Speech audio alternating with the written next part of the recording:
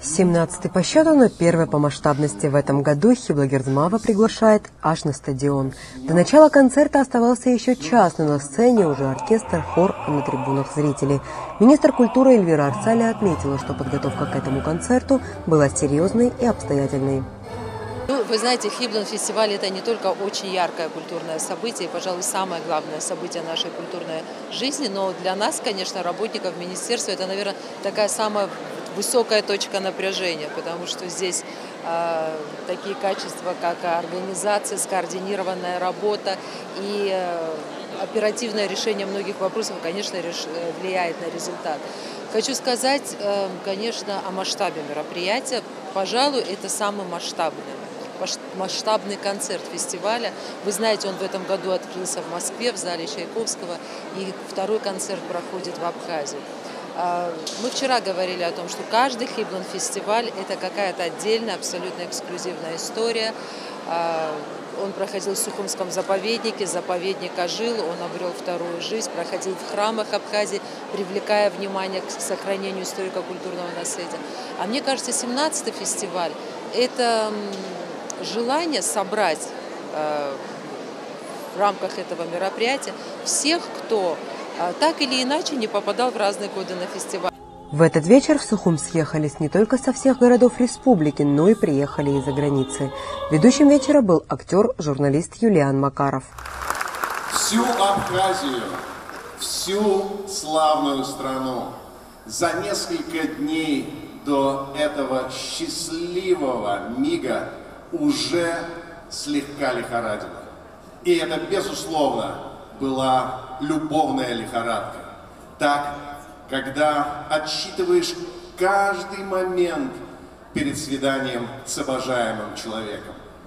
Фестиваль по традиции привлекает лучшие оперные имена.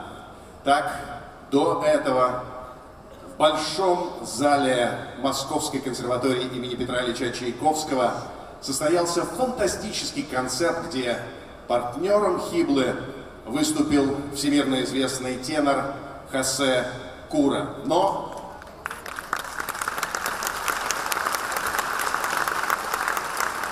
Но даже большой зал консерватории в Москве слегка теряется перед размерами такой аудитории, такого пространства. Они как раз под стать масштабу наших титульных солистов сегодня. Сами артисты называли этот вечер концертом-праздником, концертом-сюрпризом. При этом программа серьезная и насыщенная. Здесь и шедевры мировой оперы, ария Леонора из оперы «Сила судьбы», ария графа де Сильвы из оперы «Эрнани», куплеты Мефистофеля из «Фауста» и многое другое. Ильдар Абдразаков, двукратный обладатель премии Грэмми, народный артист Башкортостана и Татарстана. Для него это уже третий фестиваль абхазской оперной дивы.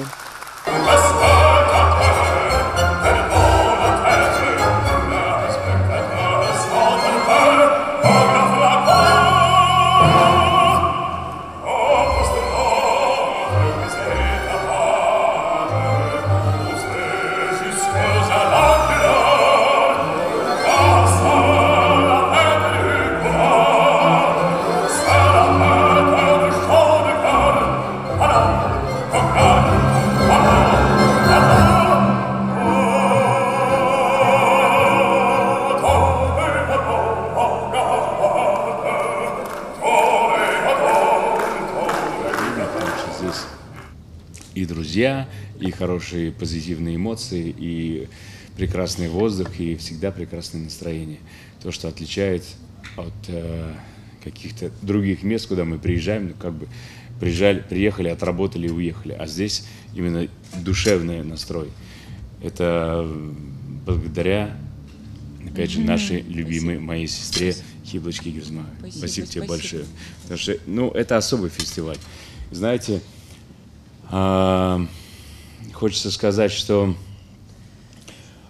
а, ну, Хибла представлять не надо, вы и так знаете, что это ваша звезда, это, а, это ваша, как сказать, да я даже не знаю. Дело в том, что приезжаешь в любой театр мира, в Ласкало или в Метрополитен или в Вену, и всегда от, начиная от гримеров, заканчивая до директоров театров, спрашивают, ну как там Хиблок, а, мы ее ждем с нетерпением, мы знаем, что она там через два месяца к нам приедет или через месяц приедет, мы ее ждем, передавай привет, если увидишь. Знаете, и это, это очень здорово, потому что э, моя сестра имеет такой позитив, она, у нее такое положительное сердце, она положительные эмоции, поэтому мы, мы ее очень любим.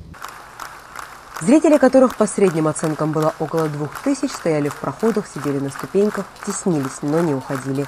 Хиба Герзмава в 2019 году пригласила действительно всех, и ее выступление здесь ждали с особым трепетом.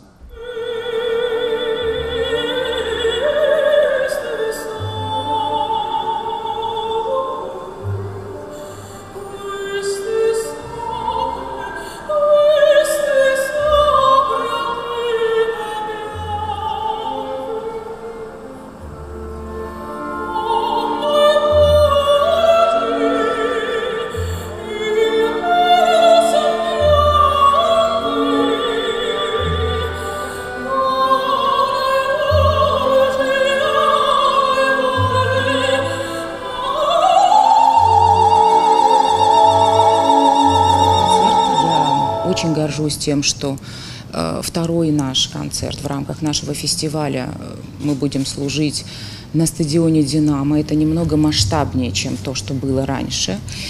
И эм, э, у нас огромная команда приехала к нам – это очень серьезное мероприятие. Я одна бы никогда ничего не смогла бы, если бы у меня не было большой, сильной команды. Э, это Министерство культуры Республики Абхазия в лице Эльвиры Анатольевны Арсалия. Спасибо огромное, что вы рядом. И вся ваша команда, изумительные ребята, девочки, спасибо большое. И никогда бы не случилось ничего, если бы у нас не было бы рядом великого мецената Николая Владимировича Ачба. Вся эта магия дополнялась академическим большим хором мастера хорового пения под руководством Льва Конторовича и Государственным симфоническим оркестром Татарстана под управлением Александра Сладковского, которого, кстати, прямо на сцене поздравили с днем рождения. У Александра Сладковского день рождения, и это большой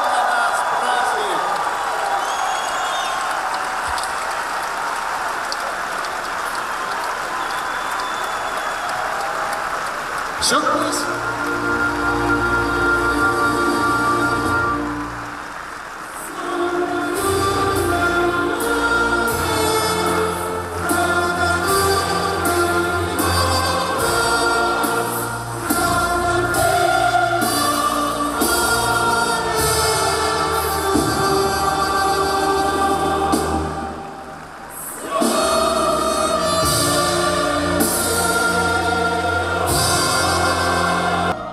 Пожалуй, самую бурную обратную связь артисты получили, когда хор под управлением Конторовича исполнил народную абхазскую песню о ранении.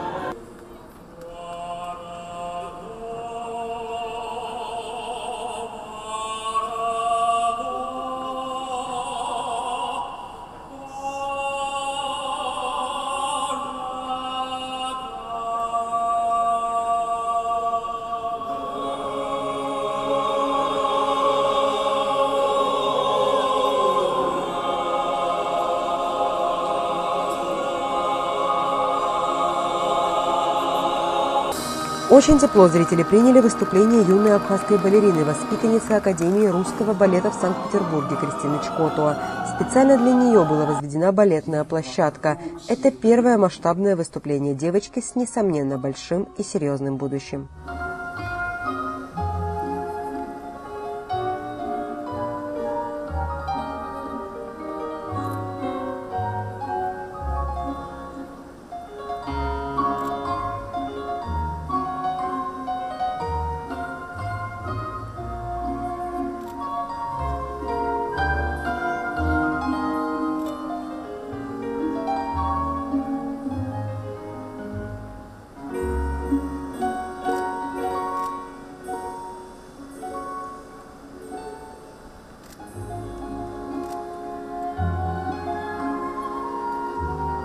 Включенными на телефонах фонариками встретил стадион песню «Абхазия моя». Хибла Герзмава во время ее исполнения спустилась на поле и подошла к трибунам со зрителями.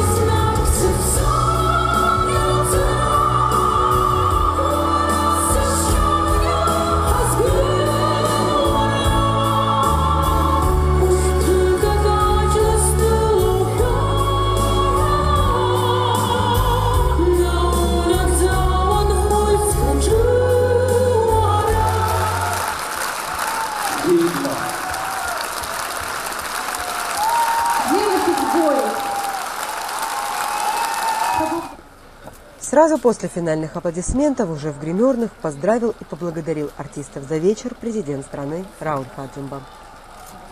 Элеонора Гилаян со Агуха, Абазатова.